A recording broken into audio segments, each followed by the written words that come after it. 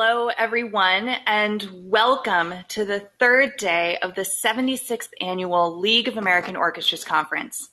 I'm Laura Reynolds, Executive Director of the Boise Phil, and I'll be your MC today as we explore our theme, Better Together. This week, we've heard wise words from Wynton Marsalis to speak about the responsibilities we have as orchestra leaders. And yesterday, we explored our new relationships with technology. Today, we're going to think deeply and share strategies around building relationships with our local communities. Before we get started with today's session, on behalf of the League, I want to gratefully acknowledge our sponsor for today's session, Fisher Dachs Associates. The consultants at Fisher Dax have a great appreciation for and sophisticated understanding of concert halls with over 50 completed venues for symphonies worldwide. FDA looks forward to the opportunity to meet you in person and to hear live music again. Thank you to Fisher Dachs for their support, and we urge you to go and visit them and all of the other sponsors and exhibitors who have set up shop in the virtual exhibit hall. So, what does it mean to be an orchestra? More importantly, what could it mean to be an orchestra? Together with our community, orchestras have more power and potential to shape the future of our society than ever before. After over a year of living with the coronavirus pandemic, a large scale reckoning with racial injustice, the climate crisis, and economic uncertainty, the importance of learning about, connecting deeply with, and trusting our communities couldn't be more urgent or possibly more complex. I believe an orchestra's purpose is to be in service to its community through art. That means everything from curating stories that are meaningful to the specific place where you live, which is why we need orchestras in every single corner of this country, but also to share those stories outside of the concert hall in the places that we all actually live, work, and play. It means moving community engagement from a siloed department into the DNA of our institutions and to witness how we can uniquely embrace the broad range of human experience. It also means that we have the responsibility to act, to engage, and to no longer be bystanders in our society. Musicians, administrators, board members, we are all part of this world. And if we have learned anything this year, it is that we are part of an ecosystem that requires us to care for, empathize with, and support one another. Today's keynote, panel, and facilitated chats will be our opportunity as a field to explore these big questions and dive deeply into the strategies and tools that we need to take action. With that, let me introduce our keynote speaker, Marc Bamuthi Joseph. Bamuthi currently serves as the Vice President and Artistic Director of Social Impact at the Kennedy Center. He co-founded the Life is Living Festival for Youth Speaks and created the installation Black Joy in the Hour of Chaos for Creative Time. His opera libretto, We Shall Not Be Moved, was named one of 2017's best classical music performances by the New York Times, and his work Pelota toured nationally. Future projects include commissions for the Perelman Center, Washington National Opera, and the Albany Symphony Orchestra, as well as a featured performance in HBO's adaptation of Between the World and Me by Ta-Nehisi Coates. An inaugural recipient of the Guggenheim Social Practice Initiative, Bamuthi also previously worked as the Chief of Program and Pedagogy at YBCA in San Francisco. Please join me in giving a warm welcome to Marc Bamuthi Joseph. Hey, family. Hope everybody is doing well. It is uh, literally an honor to be with you today. I'm so excited. I've been excited to um, engage with you all for some time. Thank you to Simon Woods for um, inviting me. Um, yeah, so uh, I am here in unceded Piscataway and Anacostan territory, uh, what is um, conventionally known as Washington, D.C., the capital of uh, this great country. Um, uh, I am a man of Haitian descent with chocolate brown skin, um, a bald head, and a full beard that is mostly black, except all the hair on my chin, which is gray. Uh, I'm wearing glasses and a pink button down shirt. I'm standing in a well lit room facing east. I'm standing in front of my kitchen, which has flowers hanging from the ceiling, and my living room, which has large format photographs mounted on the uh, crimson painted wall um, behind me. Um, I'm going to share my screen. We've gotten so good at doing this uh, in this time. Um, great. So before I worked at the Kennedy Center as a vice president, I worked there as a commissioned artist. This is me in the Kennedy Center's uh, Terrace Theater in 2009, performing a show called The Breaks. Um, my body doesn't really do stuff like this anymore. Um, so I'd like to think how I administer is how I do this. Um, I'd like to think that the way I administer is clean, is gyroscopic, it's dynamic. The Kennedy Center has commissioned four evening length works of mine since 2009. Um, and that is really where we begin my relationship with my institution is born out of artistic belief. But I think I got the gig because while I was performing on stage, I was organizing communities off stage around issues ranging from environment to immigration, using my art as a lever to include folks who historically had been segregated out of the institutional experience. What you're looking at is a still from a social practice module that I first made through a commission from the Guggenheim Museum called Moving and Passing. We were in a heightened moment of xenophobia, uh, a moment of assault on immigrant identity in the United States and I wanted to think through how soccer could serve as an affirmational tool for first generation Americans and immigrant kids um, to also consider movement patterns on the field as kin to migratory patterns across social and political borders.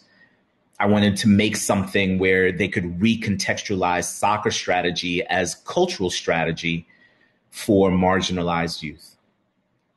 So, this is my context for greeting you today. I am a working artist making opera, theater, and dance for proscenium and specific sites. And I'm an organizer who uses art for non art outcomes.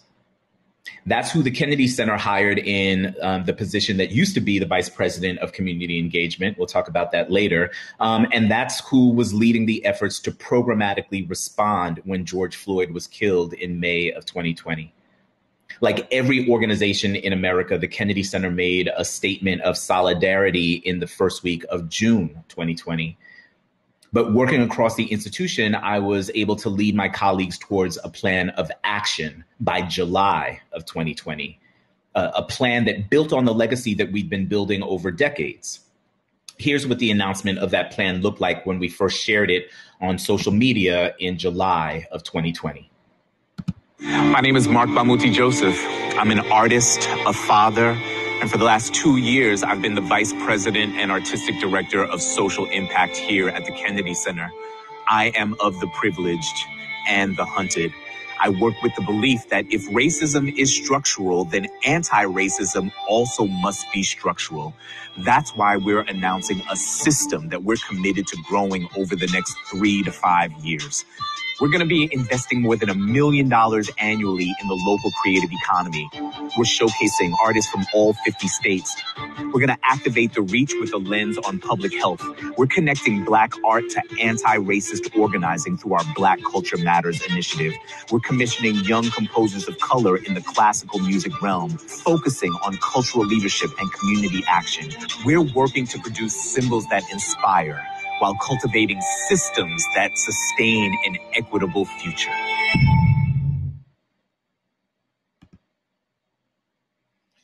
So there's some key pieces of vocabulary to extract uh, from that moment. This idea of system, more than symbol, this idea of being privileged and hunted, um, this idea of an arc of three to five years in terms of um, financial commitment and programmatic focus. What I want to share with you today is what we did after that statement and why the coexisting realities of being privileged and hunted, why the experience of privilege and vulnerability shapes what I think is the way to attack the question of equity in the classical music business. And to do this work, we have to question our institutional aesthetics. My mentor, uh, the great Liz Lerman, says that aesthetics are what a people believe to be good, beautiful, and true. So before we go any further, I would like to ask you to ask yourself who are your people? And maybe answer that question for um, yourself or on behalf of your organization. Who are your people? What do your people believe? What do your people believe to be good, to be beautiful? What do your people believe to be true?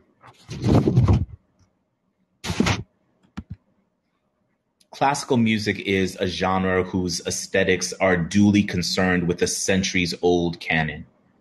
My aesthetics are duly concerned with a centuries old canon as well. And the ethos of beauty and overcome is present throughout it. When we, the assembled body of artists and administrators that steward classical music in this country, when we are talking about um, community, who are we talking about when we use the phrase the community? What did we say to them and to ourselves a year ago? When the doors of the concert hall were shut over the last year, what did we imagine could be true. If we're an industry whose aesthetics force us to constantly look back for beauty, how do we move our industry socially forward? Well, among my 39 jobs, I host a podcast with Paola Prestini, the co founder and artistic director of National Sawdust, and Kamilah Forbes, the executive producer of the Apollo Theater. The podcast is called Active Hope, and it's so named because that's where all our creative conversations kept landing hope all of us parents, all of us in our 40s, all of us within one generation of our families immigrating to the United States, all of us practicing artists, all of us leading really different arts institutions, all of us actively stuck on hope. I am in my artist body. I am a citizen. My job is social impact. I don't have time to not be hopeful. So, how does a hopeful person frame an equitable future? Well, I have a podcast, so I interviewed a futurist. Uh, what you're about to see is an excerpt from uh, the most recent episode of Active Hope. Uh, you'll hear from Marina Gorbis, the executive director of the Institute for the Future in Palo Alto. Can you can you just talk maybe a little bit about how you define variations in um, in in futures or in future perspectives? Yeah. There are many different approaches to thinking about the future. You know, scenarios is one of the methodologies we use. And particular methodology we use is called alternative futures methodology that actually comes from um, Dr. Dator, who was a, who is a futurist and was teaching at Hawaii, University of Hawaii at Manoa. And he uh, posited, and we believe in that, that, you know, uh, when you think about all these visions of the future, there are four sort of archetypal ways in which we think about the future and construct scenarios in our minds. Mm-hmm. One is what we call growth, which is growth, which is basically continuation of things as they've always been. It doesn't necessarily mean growth, but it means like we're going to continue on the same path. And that's the easiest thing to envision. It's what we all think about, you know, every day, that things will pretty much continue as they've mm-hmm. been. The other sort of archetypal scenario is collapse. So something is really falling apart, something is breaking. It could be a mm. system or a subsystem. Now mm-hmm. we're talking about climate collapse and things like that. So interesting enough, a lot of people love envisioning collapse because things are complex. We live in a mm-hmm. very complex world and mm-hmm. it's hard to change. So why don't we just start anew? We just right. destroy what's there and build something new. Uh, the other one is constraint. So you're operating under the environment of some form of constraint. So now we're talking about resource constraint, like water shortages and things mm-hmm. like mm. that, where you need to constrain your behaviors. There's a limitation. And, and my favorite one, and really the one that's the hardest for people to think about is transformation, where we're really moving into something very, very different. We're not destroying it, but we're transforming into something new. And, and that's the hardest one for people to envision mostly because when people think about the future, what's difficult about it is that they base it on their own personal experience. Mm-hmm. And let's take a lifespan, you know, at most 100 years about, right? And so mm-hmm. we kind of come to believe that everything that we do and how we behave and how things work is kind of that's the only way to be in the world right? Like mm. it's almost like preordained. It's this is what it is. You know, we go to work from nine to five. We take vacations for a month. You know, we do this. The school call uh, is followed by maybe college, by work, and all of right. these things. So we we think in these sets that are very sort of deterministic in some way.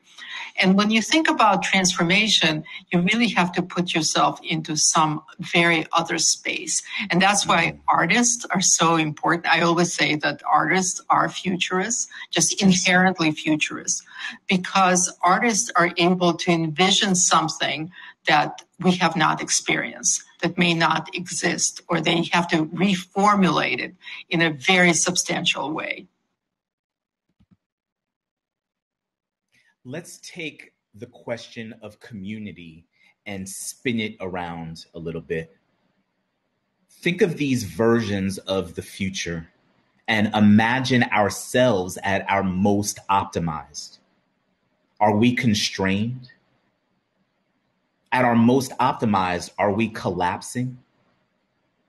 Are we growing? At our most optimized, are we transformative? What does a culturally transformative organization think about diversity, equity, and inclusion? What does it mean to presently invest in a transformational cultural future? What's the relationship between present solvency and social justice? DEI work has become a game of numbers and shame. Many of us are working on diversity of staff and canon. And I think many of us get that to be inclusive means that we're conscious of welcoming disparate cultures and cultural literacies with an aim towards tolerance, balance, and safety. Equity. Equity is a little more elusive. What I like to say is that equity doesn't mean everybody's in the house. Equity is what you have when you own your house if we're serious about DEI work, our North Star has to be equity, which means we invest in creating shared stakes with historically marginalized communities, creating more than symbolic reasons to connect. We are creating symbiosis. In the last two years, I've helped to guide the Kennedy Center in a transition from a community engagement paradigm to a social impact framework engagement work builds diversity by making place for underrepresented communities. social impact builds on this work to also make cultural equity and creative home for those same communities. Social impact cannot work through disparate programs. Impact requires intention, humility, discipline, fiscal accountability, a compelling narrative, and organizational coherence. We don't want to be an institution that itinerantly responds to tragedy we want to be a cultural center actively and consistently walking on a pathway forward. Now, I should note that I have all these highfalutin ideas, but I have to make them make sense at the Kennedy Center, okay? Which is freaking hard because the Kennedy Center has an adjacency to the federal government as a living memorial to the 35th president. So I have to advocate for doing this work in a way that is fiscally appropriate and diplomatically sound. By necessity, I have to take an approach to leadership that is centered in the capital of creativity and in the marketplace of American ideals. Artistic disruption, in the context of federal bureaucracy co-joined practices funneled through the lever of a $250 million arts business federally tied to some version of the American social contract. Art is oxygen for the lungs of the body politic, and the Kennedy Center is rare air. Our job is to remember that some of us can't breathe symbols and gestures are cool. But if we use the term structural racism, then anti racism also must be structural. Symbols and gestures are cool. But if we use the term systemic racism, then we must also be systemically anti racist. I actually don't think our country can be systemically anti racist because of the inextricable relationship of race to labor and to wealth. But I do think that it is possible for schools and government and cultural places like the Kennedy Center to aspire to a position of systemic allyship or systemic solidarity. And in order to get there, I've started to ask myself different questions. In, instead of asking, how can I be anti racist? I ask, is it possible to choreograph social justice? I've been asking how we break this cycle where some horrific injustice happens and we're shocked and confused and we have this emotional response and then perform allyship until we get tired or feel guilty because we're not moving fast enough, which leads to inaction and passivity and eventually apathy until another horrific injustice happens. How do we cultivate an alternative cycle? So that when a horrific injustice takes place, we're not overtaken by shock and confusion as if the fruit of systemic oppression is surprising. Instead, our emotional response is marked by empathy and compassion, which leads to a rejection of performative allyship in exchange for the real vigorous work. And if guilt and fatigue should try to settle in, we re-center those yearning for justice, remembering that inaction and passivity are detrimental to justice and that apathy is the antithesis of unconditional love. Let's say that an image that we all hold in our heads that image of that man walking through the Capitol on January 6th with a Confederate flag. Let's say that that is symbolically or overtly racist. Let's say Nancy Pelosi and them kneeling with their kente cloth in the Capitol uh, after George Floyd was killed. Let's say that's a demonstration or act of symbolic or overt anti racism. Let's say we want to go deeper and say there's a pyramid of behaviors that we can name as manifestations of white supremacy. What is the pyramid of behaviors that we can name as practices and manifestations of systemic solidarity? As we're in our practice as administrators, as educators, and as artists, how do we shape careers and institutions that are a reflection of a desire to support the world's greatest art while also making the world a better place. Well, I try to use this pyramid to think about gestures of white supremacy and the mountain of behaviors that um, are more covert but just as damaging. And I try to flip that on its head. I say if these are gestures of white supremacy, but we're seeking to be um, uh, systemically uh, counter to that, then we also have to build a system that uh, that makes sense. It begins with a pipeline, a pipeline of folks that hold us ethically and financially responsible. From that pipeline um, emerges a pedagogy, a modality, a structure, an organizational culture, um, a theory of change.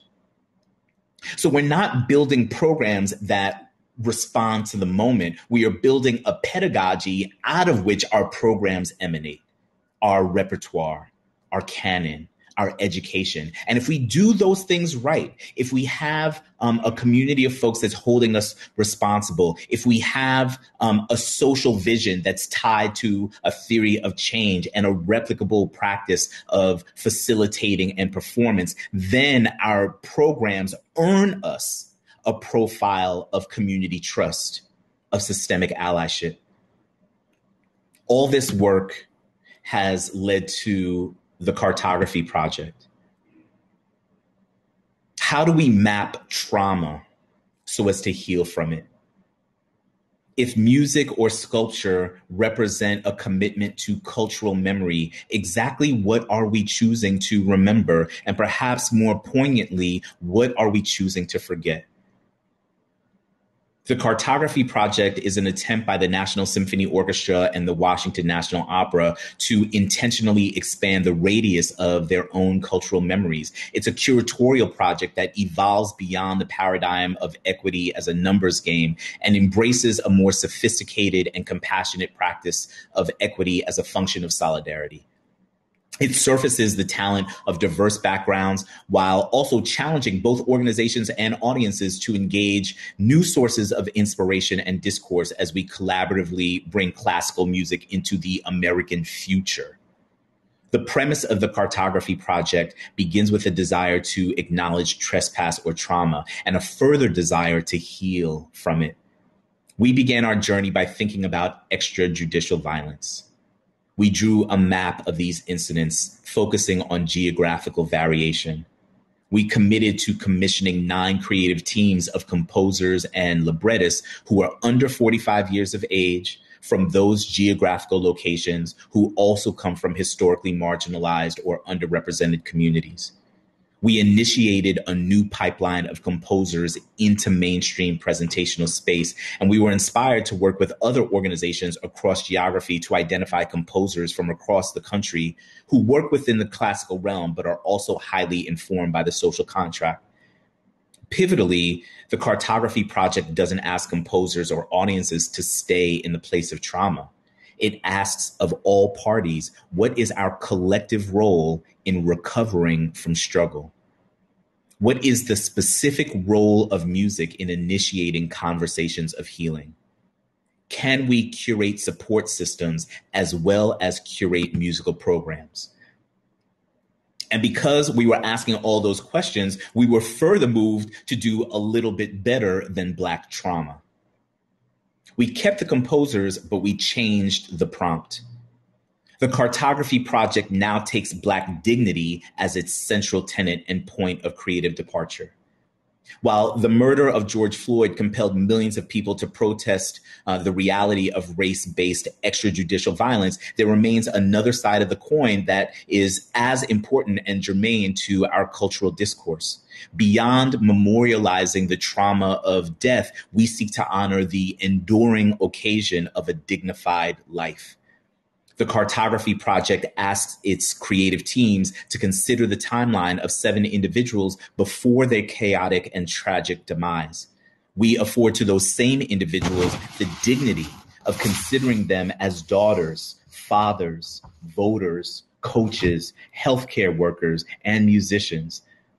The aspects of their lives that made them human and were ignored by assailants who could only read them as tropes and not beings Through musical composition and poetry, the NSO and the WNO reposition the conversation about the matter of Black life and descend our gaze down from the macro horizon to focus on the intimacy and simplicity of the matter of Black dignity. It is a basic, humane, and yet elusive request that we make through music. Map the humanity of those who were gone too soon through soaring tone and dignified embrace. What if dignity were currency? Our business model depended on spinning the capital of dignity into the capital of finance. What if, when we said equity, we didn't mean everybody's in the house, we meant equity? Like what you got if you own your house, invested in inclusion to produce equity for diverse communities, which means more than putting on shows or producing symbols. The matter of Black life, sure, is controversial, but surely Black dignity couldn't possibly be cause for alarm. What if all this dis-ease was a prompt for an entrepreneurial reframe, like the explosion of crypto as currency? What if we treated the art of cultivating dignity as an intentional economy? If the product were empathy and you had to make it, and you had to make it mass accessible, what raw materials would you use? What if dignity were currency and the raw material to make it was culture? What if you worked at a cultural mint and printed white walls and bright lights and the aesthetic sublime 80% of the time, but 20% of every dime was spent minting cultural equity for the historically left behind? Equity, not like proportional balance, equity like profit on your P and L balance. Who in this country is manufacturing empathy? Just a little bit. And in the end, wouldn't we all benefit? What if dignity were medicine? Were a vaccine, and the public and private sector teamed up to invest in our collective healing. And our country's cultural mints were the place where anybody could get pricked with the sharp edge of culture. A chemical boost included us all because we've learned that if I'm healthy and you're sick, I'm at risk. Why risk emerging from this moment in a culturally unhealthy way? Why put a cultural inflection point to waste?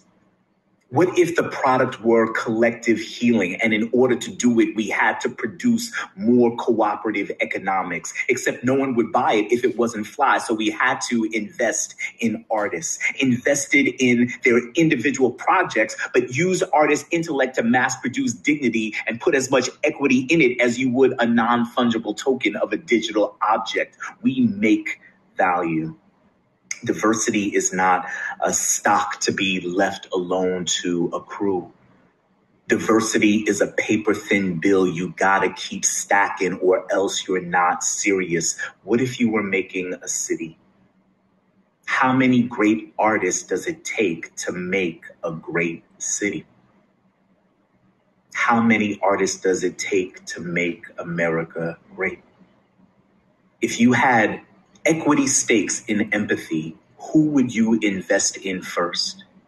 In the ecosystem of cultural production? What if we all win? If we all win, what if we didn't all have to win? We just all remembered when the world was sick mm. and collective healing was something we were all invested in. What if nobody got left behind? What if we healed forward cardinal directions, truth, dimension, humanity, access, latitudes of public imagination, longitudinal public policy, X, Y, Z, axis, access the ancestors, call their names, map the future, collective dignity, the moral compass, invest in the road forward, culture as brick, walk the walk.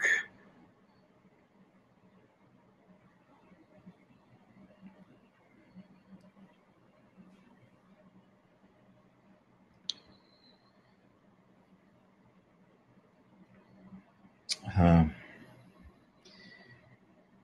I, I haven't lived in the nation's capital for long, but I am no stranger to art and ritual.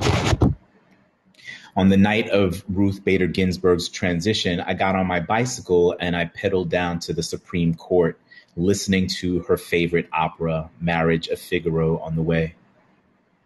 That night, the monument was a magnet drawing hopeful Americans together in grief and trepidation.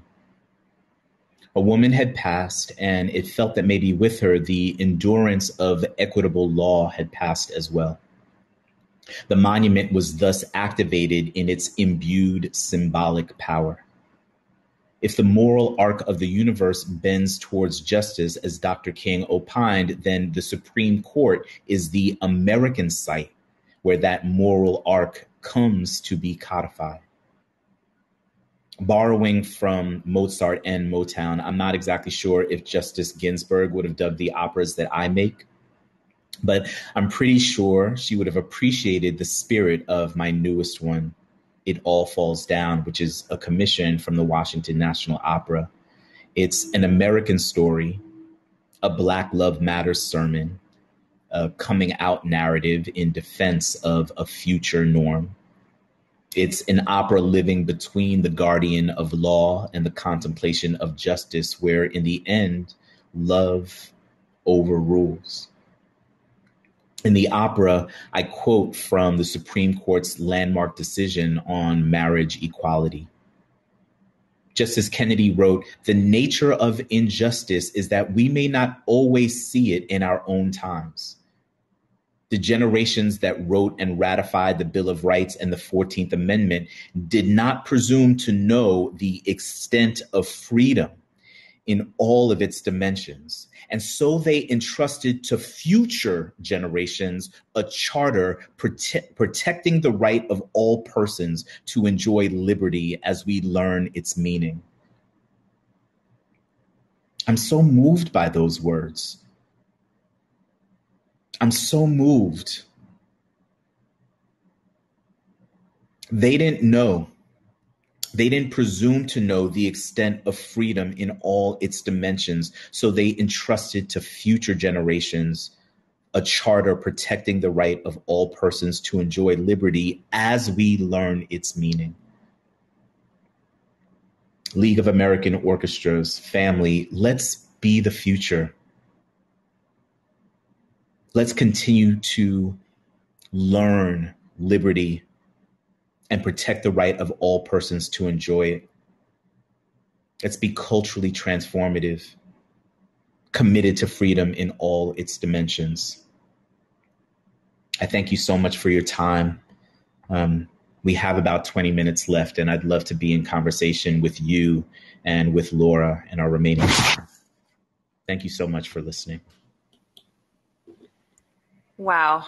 That thank you so much, Bamuthi. And please let's show some love in the chat because that was just so incredible. And um, you know, we're going to continue this conversation now. So if you have questions, thoughts, things you'd like to add to this conversation, please include it in the chat. There's also a Q&A, um, which the moderators can see, but not necessarily everyone else. So please add that there. And yes, uh, I hope you're seeing all this love because it is. Uh, I mm-hmm. think everyone is feeling this right now. yeah.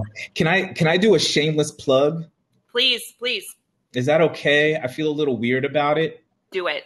Okay, cool. so if if any of that made any sense to y'all, if if that felt if if that felt worthwhile, I, I just want to share that I'm um, hosting a a three day uh, virtual retreat um, next week. Um, it's called uh, Healing Forward.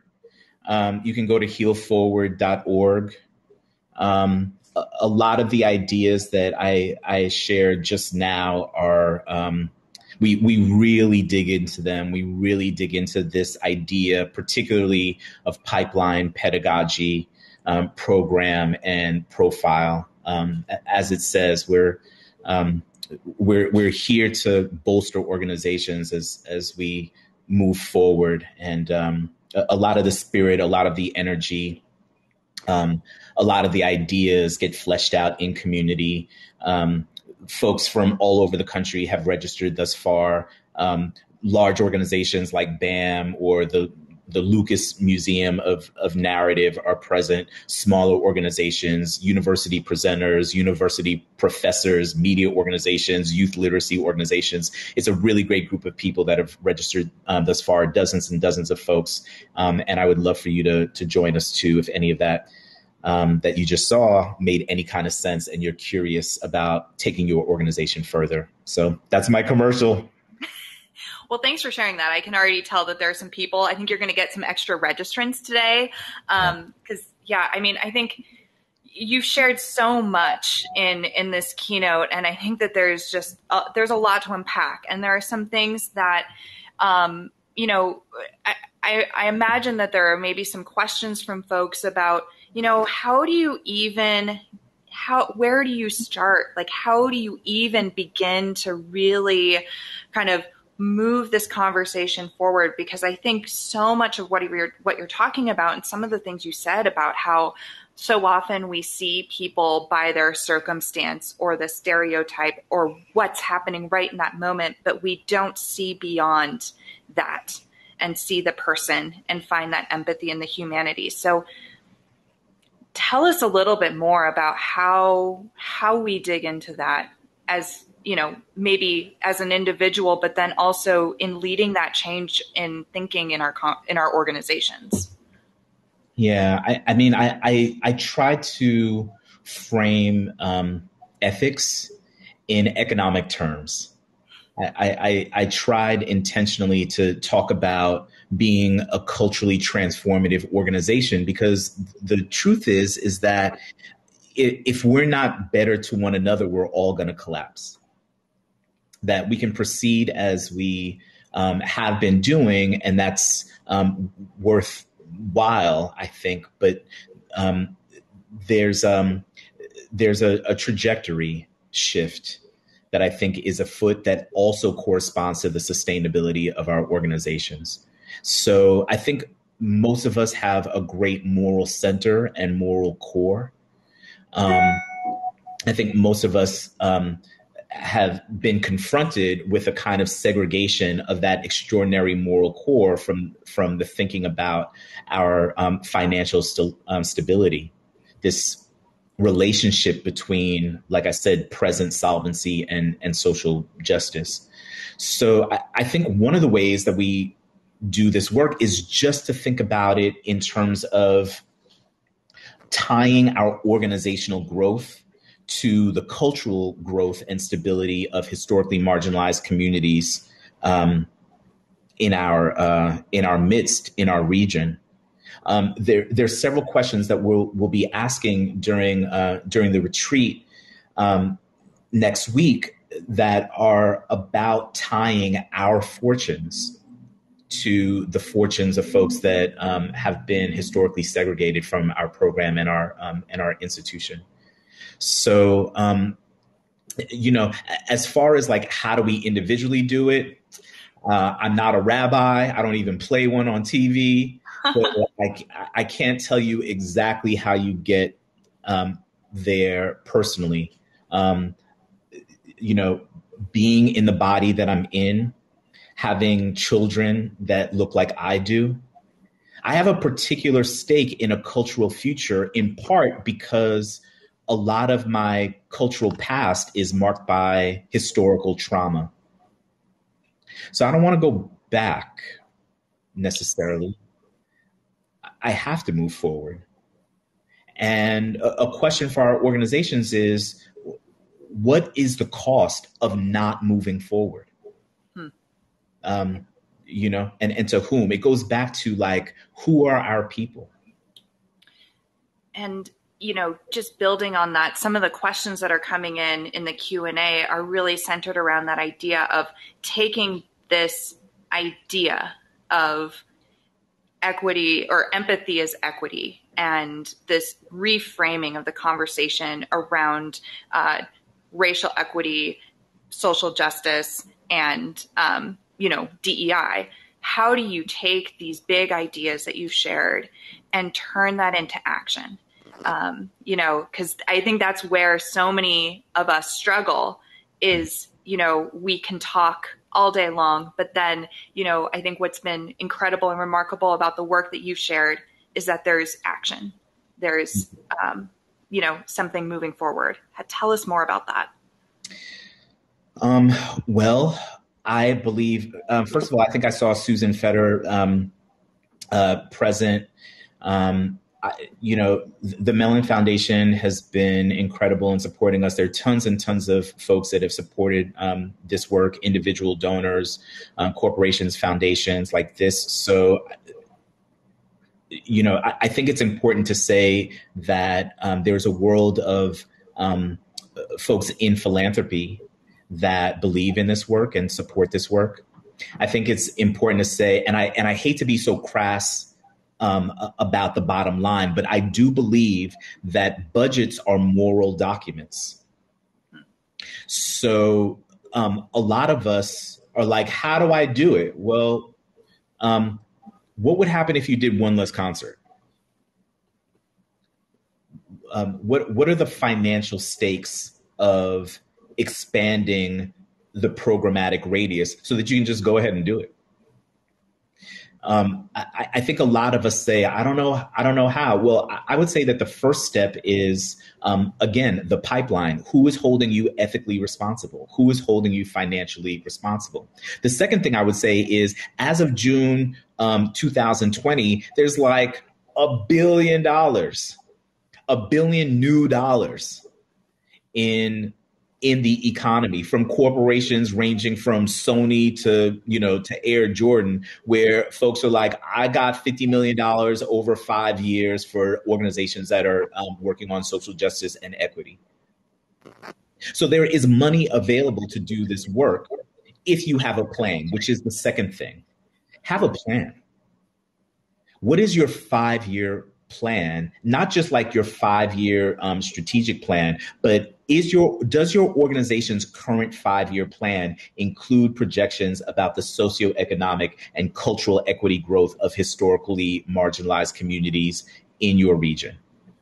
Mm-hmm. And if you have a plan that um, that ties um, uh, your organizational growth to your region's cultural growth, then you have what I call a social vision. Now you have, you develop a program that's in service of a social vision. And you define it according to what works for your organization. Then it's a matter of political will. And this is where, and thank you, Simon, for, for highlighting the idea of a budget as a moral document. Um, you have five dollars. What are you what are you spending on social justice? Yeah. Like um 10 cents? Because that's what you'll get on your return. You know, a quarter because that's what you'll get as as your return and and the reason why i think it's important to have like a 5 year plan is because you don't have to spend millions of dollars today you can plan to spend um, you know an appropriate amount of resources over the course of 5 years this is why this session is called the arc of systemic hmm. solidarity because as much as I've tried, I've never written the poem that like undid patriarchy. I've never like made a dance, you know what I mean? And then white supremacy was over, heterosexism was over. Like that doesn't happen. So it's not going to happen in a concert. Right. But this is why we live in the culturally transformative future. We build towards that, we budget accordingly, we hire accordingly, like this. That's a beautiful arc. And just to kind of recap what you just said, it's it's that budget is a moral compass, having that five year plan that is based around your social vision and having the political will to move it forward and get that return on investment that you're making in those other areas. That's really incredible roadmap for us to take action around these ideas that you've shared. Right um, so, you know, I think one of the other things that you shared in in today's talk that's just I think so powerful is this vision of American orchestras being part of the construction of the yes. American future. Yes.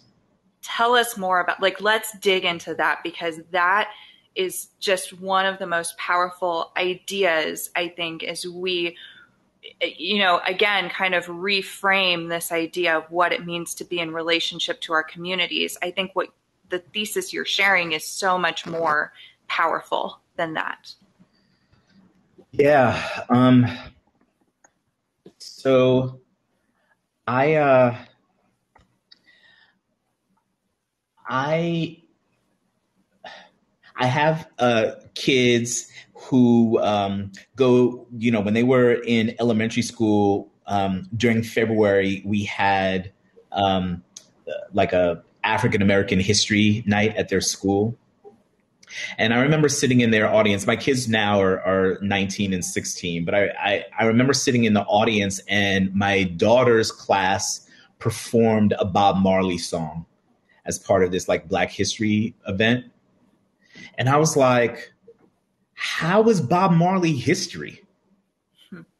Because I wasn't about like I don't think of Bob Marley as like a historical figure, but there I was sitting in like 2010. I was like, oh yeah, he's kind of been gone for a minute. Hmm. I think I I used to think of history as like black and white material. Um, speeches by Dr. King or um, images of Eleanor Roosevelt. But um, history is not finite and fixed. We make history. Similarly, the future doesn't have to happen to us. We make the future. So, in my institutional work, in my administrative work, um, and I, I, mentioned this very briefly, um, I, I, changed my way of thinking um, in terms of um, instead of like curating, I thought of this as like, I, I thought of this work as cultural design. So the example that I like to give is um, this country has a great system for deporting people. This country has a great system for um, a great design for incarcerating people. So, can we design freedom? And what is the role of the arts institution or of the orchestra in terms of designing the future? It, this means uh, a complete rejection of what the New York Times used to call art and leisure. Our work is not just for leisure. It is part of the fabric of a social design. And we, who are marketers, who work in development, our conductors, our musicians, our executive directors, we have the power to design the future. This is part of what I mean by does your organization have a pedagogy? Are you committed to a, a kind of um, theory of change? And can you state it? Can the musicians in your orchestra, besides being, you know, world class and extraordinary, can the musicians in your orchestra also state as part of their onboarding what your organizational theory of change is? So this is just about accountability that um, we, we don't have to be passive. We provide a great service to the world in being excellent at the aesthetic sublime. We do. Um, but as Marina Gorbis says, where else is transformation going to come from if it's not from art and artists? My best friend graduated um, from a school in, in Louisville uh, this past weekend and because I fly all the friggin' time, I have mad frequent flyer miles, which, as many of you know, you know, sometimes that means you get upgraded. So I got upgraded to first class and um, I got upgraded to seat 2A. The person who was sitting in seat 3A was the Republican minority leader, Mitch McConnell, who, you know, is the senator from Kentucky. So it made total sense that he was on a flight from Louisville to DC. I'm not looking for a transformational future from Mitch McConnell. I'm not looking for a transformational future from our elected officials. I am looking for a transformational future from our artists. And those of you who steward art in America, it's your friggin' job, yo. It's part of the gig. Well, I don't think that there's any other way to just express what your challenge is to all of us as leaders of American orchestras. Uh, you know, it's that stewardship of American art, of creating the future of our country. Um, any last last words or advice or challenges or actions that you wish for us as leaders of American orchestras to take forward uh, into the future? I, I would just say, first of all, thank you so much for having me. Thank you, Simon, for inviting me. Thank you, everybody, for listening, for paying attention. Um, please register for um, for the retreat. I think it's good stuff. Um, the the core message, maybe that I would leave you with today is: let's not go back to normal. Let's not go back. Let's start again. Let's start again, but let's not go back. Thank you so much, Bamuthi. Thank you, everyone that's here today for this conversation and participating. Uh, let's just give one last big collective chat round of applause for all of this. Yes, thank you. Um, before we break, I have just a few more announcements to share just to let you know about what's coming up next for today. A quick reminder there's an evaluation that's in Boomset. Please fill that out to let us know, you know, your feedback about today's session uh, and the conversation. At 2:15 p.m. Eastern Time, uh, you'll have the opportunity to listen in on a panel conversation called "Survive to Thrive: Why Community is Central to Our Collective Success." And the speakers in that will be uh, Maria Rahu from the San Diego Symphony, Osa Armstrong from the National Repertory Orchestra, Michael Frisco from the Detroit Symphony Orchestra, Brianna Scales from the Florida Symphony Youth Orchestras, and Yana Walters Gitzeg from the Pioneer Valley Symphony. Um, I look forward to seeing you all there. Thank you so much. Uh, thank you to all the league staff that supported this. And thank you again to Marc Bamuthi Joseph. Uh, have a great day, everyone. Take care.